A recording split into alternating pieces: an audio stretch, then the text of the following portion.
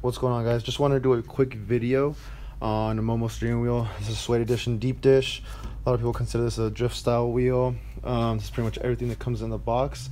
But i just i'm going to do a comparison video pretty soon and just want to do a single video on what i think is amazing about the momo compared to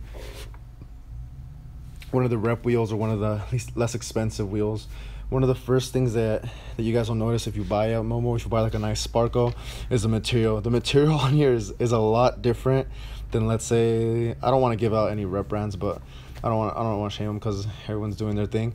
But when you get like a lesser quality wheel and you just feel the material, the suede first of all on this wheel is superb. This is just really really soft, and if you could feel it you just know like wow like this is it's a big difference. Because i mean if you're paying $250 for a wheel you expect it to be $250 um, it's a lot lighter than most wheels too than most rep wheels. A lot of rep wheels are made out of like a solid piece of metal and you, they just feel heavy. So will they bend? Probably not. But it's also not going to be lighter on the on the turns or just feel feeling overall if like you take your wheel off and like to carry it. You are going to have that extra weight but you are going to pay $150 less for for a rep wheel than for this wheel. Um, all Momos come with a nice little badge right there. Momo Italy. This is a great wheel. I, I love these in Sparco. These are probably my favorite wheels. This this style in particular. This is a 350 millimeter wheel. Um, nice painted logo right here. You have your nice stri uh, stripe at the top. Six bolt, like most generic um i shouldn't say generic but like most steering wheel setups. Um it comes with your button. You get your nice little momo button here with the connections for your your horn your actual horn connector your little plate and you get some some bolts to bolt in your your your wheel to your hub or to your quick release whatever it is that you have. You also get some instructions. Lets you know to disconnect your battery not to blow your so you don't blow your airbag or anything like that. Uh, pretty straightforward. Um, you don't necessarily need to use a higher quality hub like a Momo or Sparco hub. You can use anything like an NRG. It'll it'll bolt right up. I have an NRG here. If this were for that car, I could just put the car in there, hub it up, and you have your six bolt here. So all six bolts will generally bolt up. Most quick releases too.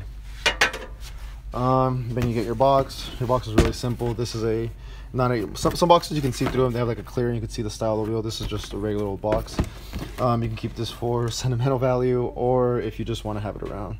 This is this is again 350 millimeter deep dish, $240 wheel. You can probably get it a little cheaper online.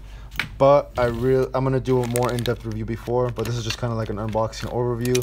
Kind of first impressions out the box. It's just a beautiful wheel. It's really soft and it's it's really light and it's really high quality. We might do an install video later on just to kind of guide you guys through it. But yeah, that's pretty much it. If there's any parts you guys want to be reviewed in particular, we might do some of those just on the quality aspects, the unboxing aspect of it, and then later on we might do some installs in car and see how how maybe driving performance is different uh, on this wheel versus a, a lower end wheel, which in reality I think it has more to do with the comfort and feeling of the of the car, less to do with how how this is actually going to turn. Well, I might be surprised. There might be a big difference. But from what I think right now, I think it's going to be more with the quality and the feeling of the materials that it's actually made of than really if it's going to make me turn faster or if it's going to be more comfortable. But I I, I might not know. Uh, it, the, the way the way it's weighted could have a lot to do with it too. A solid piece of metal might weight it different when I when I turn the wheel or to initiate or anything like that. So, yeah, that's pretty much it, guys. You guys have a good one.